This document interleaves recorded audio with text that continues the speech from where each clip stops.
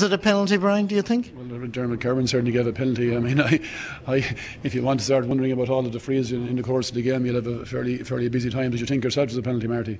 Well, I, I wasn't too sure, but it, it, just seemed a little bit dodgy in, in the replay. I have no idea, Marty. Did you check all the other frees as well to see where they dodgy also?